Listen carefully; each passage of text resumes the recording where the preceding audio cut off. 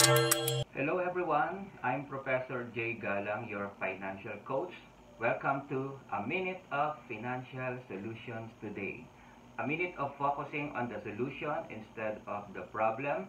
A minute of learning the new normal in your finances. A minute of financial blueprint that can guide you in your financial direction.